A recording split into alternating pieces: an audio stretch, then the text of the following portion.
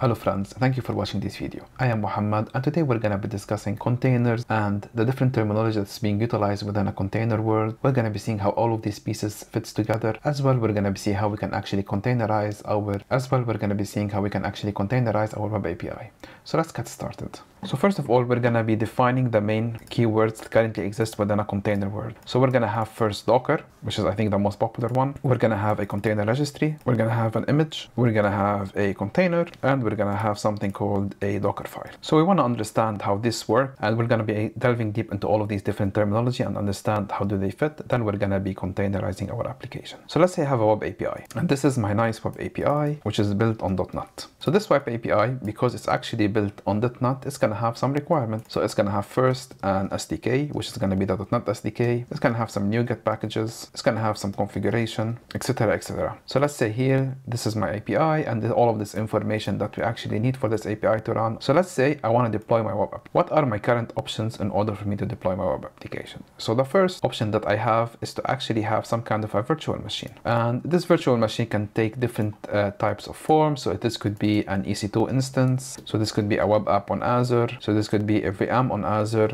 And there's a lot of different options that we can actually use there. But how will this actually work and how we can actually deploy our code there? So if we want to actually deploy to a virtual machine, what we need to do first before we can actually deploy, we need to do some configuration. So let's put this here and we're to say that we need to do some configuration. So we need to set up the SDK. This is all except the web app. So we need to set up the SDK, we need to set up the configuration, we need to set up the networking, we need to set up the security protocols, etc, etc. So all of this work needs to happen in order for us to be able to deploy our web API to our virtual machine. So how can we do that? So we have in order for me to push my code from my local development environment to my virtual machine, I need something like GitHub to be available. So let's say here I have GitHub. And from within GitHub, what I need to do is I need to actually push my code from my web API to GitHub. And then once my code is actually in GitHub, I can push it to my virtual machine as a deployed version and I can actually from there run it. So here what I'm doing is I'm actually taking all of these different information that I have for my web API. Let's put this here for my web API with all of its configuration and NuGet packages and SDK, publishing it, putting it into GitHub, and then from GitHub, I'm actually creating a published version and putting it on my virtual machine. So that's one, it's one way of doing it. If I'm using web app, what I can do if I'm using Visual Studio, I can directly right click and click publish. And basically Visual Studio will take off all of that different mechanism for me to directly publish from here. But this is not really recommended if you really want to have a full automated platform and it has its own uh, limitation, but it's one way of doing it. But we can see here that in order for me to get this up and running, there's a lot of different configuration that I needed to do, that a lot of manual work on the virtual machine. It's not easily replicatable because I need to do all of this work manually again on any other virtual machine, etc, etc. So what are the other solutions? The other solution here is for us to containerize our application. And what I mean by containerize is actually to create a published version of our application that we can actually move it from one place to another. So for that, what we can do is we can actually create a container version of our, or containerize our application. But how we can do that? In order for us to containerize our application, we're going to be needing some kind of a technology that's going to allow us to containerize our application. And this technology, it's called, one of the most popular one is called Docker. And Docker basically allows us take whatever we have within our code base and create a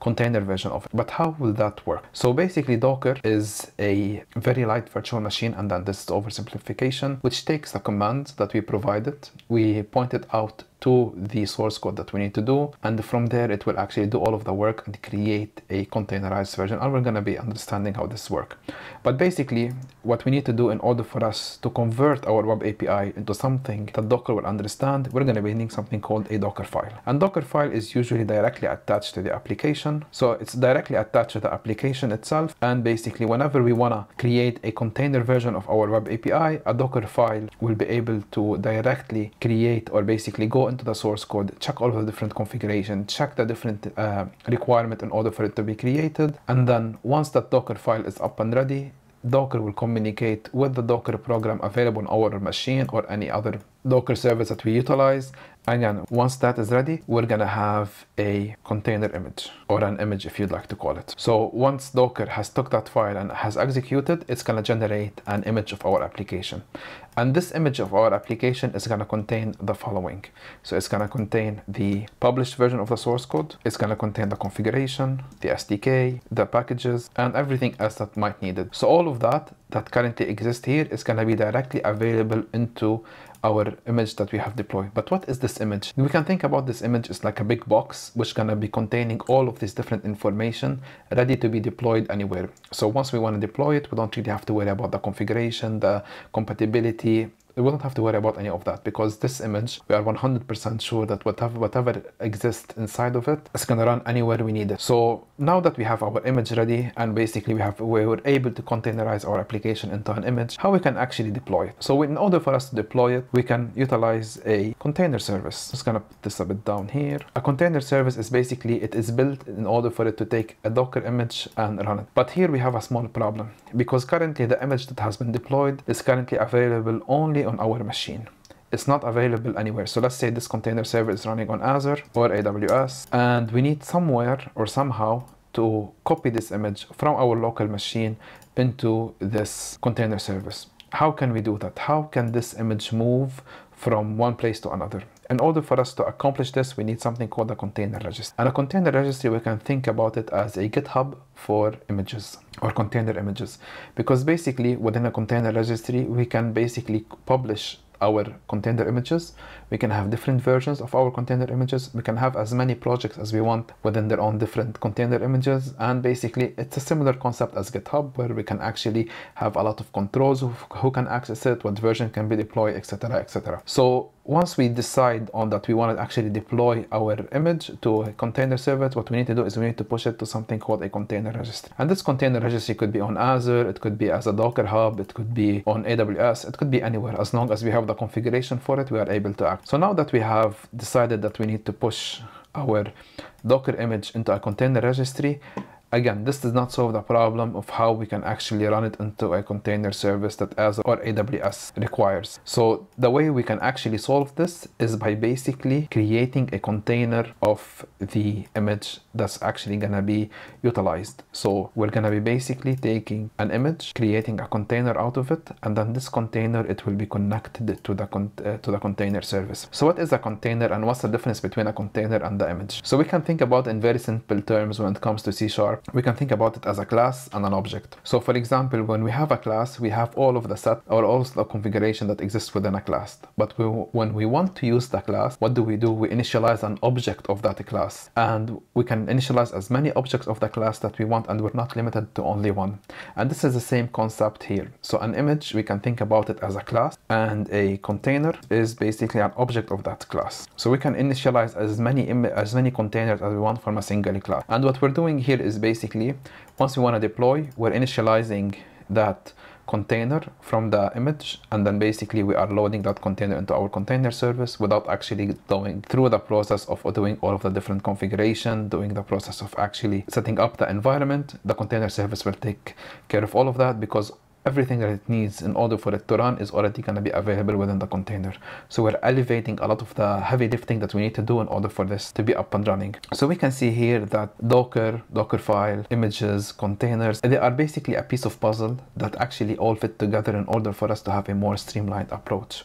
So if we want to really summarize this in a very simplistic terms, what we can say here, we can say that everything starts with an application. The applications then actually convert into or basically use a Docker file. The Docker file will basically translate the application into an image or the container image. Once a container image is created, we store it in a registry. And once it's actually stored in the registry, then we can initialize a, con a container from it. And then we can do whatever we want from it from there. So we can see that this flow that we follow is gonna allow us to have a fully containerized application that can be deployed anywhere that we want. And this flow makes it really easy for us to understand if we're having any problems to actually identify what could be the problem. So locally on our machine, if we're actually trying to deploy this, what we can do, we, we can install Docker to be available locally on our machine. And once we install Docker locally on our machine, what do we get? We get all of these combined together. So we don't really have to worry about them locally on our machine. So within Docker on our machine, we can get these two together. So we can get a container registry uh, where we can actually store the images and we'll get the Docker engine available. So this is within a Docker disk on our local machine. So right now, in order for us to actually just go do a quick overview on this, what we're going to be doing is I'm going to be showing you a Docker file uh, that is built for a web API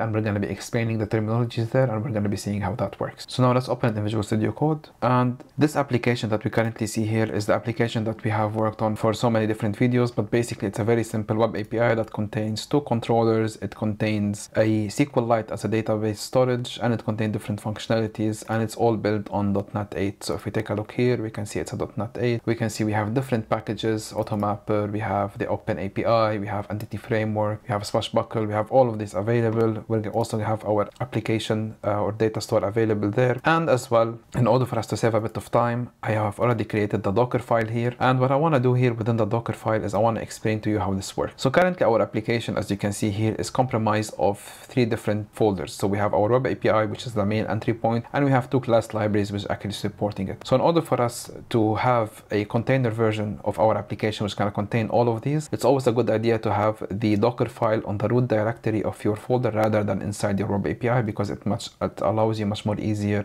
to access the different services that's needed. So once we have created the Docker file, you can see directly it has a whale icon next to it. And here what we have, we have the basically the recipe that we're going to be following in order for us to have a fully containerized application for this web API. And you can see here within 24 lines of code, we were able to completely containerize our application. So let's see how this will work. So first things first, we can see here that we have something called a base. And basically we can see what we're doing here is we're setting up this Docker by informing it of what type of SDK do we want. So if we take a look back at this example here, we said our application is going to require an SDK in order for it to work. So what we're telling here is we're telling Docker that it needs to have some kind of an SDK available in order for it to work. And this SDK is going to be the ASP.NET uh, version 8. And basically what we're doing is we're taking, once we have defined the SDK, we're taking a folder or creating a folder inside this Docker file that we're, that we're using and we're tolling it up. And inside this folder up, we're basically, we're going to be doing everything that we need in order for us to have our application up and running. So then once we have done that, we can see here we have the expose. And basically what we're doing here is we're doing the networking configuration that Docker require in order for us to have the networking available. So these are the networking configuration in order for us to have this up and running. So basically we're telling a Docker that this application will be exposed uh, exposing port 8080 and port 8081 one. Will, will, be utilized for HTTP and the other one will be utilized for HTTPS so once we have went through all of these four items we can see here that we're actually defining another instance of the framework or the SDK but this is called build. Why are we doing that so let's explain it here. So in order for us to have everything that we need inside our application, inside our Docker image, what do we need to do? We need, there's two ways. We can actually first publish the application outside Docker and then copy everything into an image. Or what we can do so this is the first approach and we're gonna say this is why it's not recommended. Or what we can do is we can actually copy the source code into Docker, into a Docker image, into Docker basically, and then create a published version of that source code into another Docker image. And once we create that public, the published version, we copy it into a new Docker image. So why are we doing that? Why are we doing an extra step where we can actually simply just deploy it on our machine and copy paste it? Because basically, if we deploy it on our local machine, the deployment here is gonna be completely dependent on all of the configuration of our OS. So the deployment here will take the configuration from our OS, like the SDK, the networking, etc, etc. So everything will gonna be based on the operating system that we're running. So currently I'm on my Mac, so if I deploy it, it will take the version of the SDK on my Mac and it will deploy it into a folder and then I copy paste it, which is not really what we want because this we can see it will create a lot of dependency on what type of operating system I'm using. It will create a lot of dependency on the configuration that I have on my machine and does not really mean that it's a completely unique or uh, make sure it's gonna run all of different environments. But if I copy my source code into Docker and I let Docker do download all of the dependencies, SDK, do the configuration, and then create a final version I can 100% be assured that whatever configuration I provided is going to be working perfectly. So that's why we need here another one which is called build and this build is going to be this temporary version that's going to be removed at the end and only utilize the last one. So once we define this temporary version, we're telling it that this uh, Uh, we're going to be utilizing a release version. We're basically publishing it as a release. And then what we're doing here is inside this new box, we're creating a new folder and this folder we're, we're calling it source. And inside the source folder, what we're doing is we're copying all of the different CS projects that currently exist inside our application and we're running a .NET restore.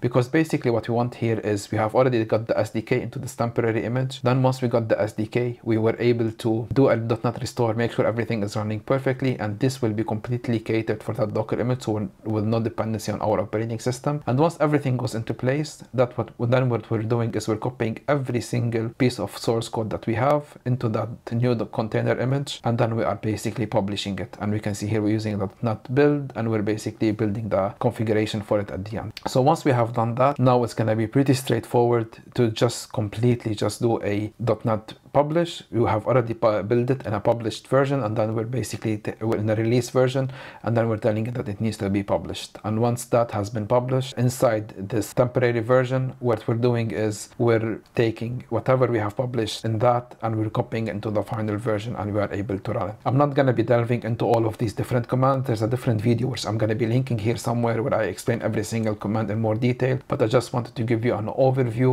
about how this will work and why are and what are the that's needed in order for us to have a containerized web API. So the, within this video today, we were able to explore the world of Docker and containerization. We were able to understand the different terminology that currently exists, and we were able to understand how everything fits together. If you have any questions, please make sure you put them in the comments down below. If you'd like to support me, please consider supporting me on Patreon or buying me a coffee. With that said, have a great day and thank you very much for watching.